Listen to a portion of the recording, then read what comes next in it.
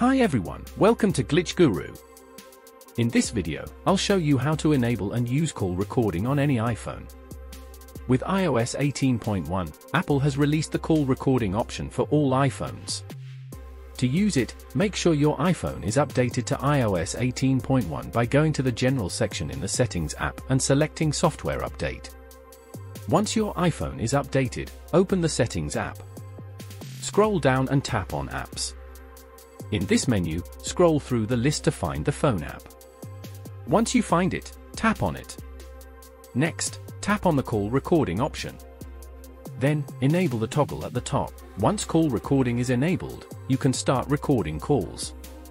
On the call screen, you'll see a tiny icon in the top left corner to enable call recording.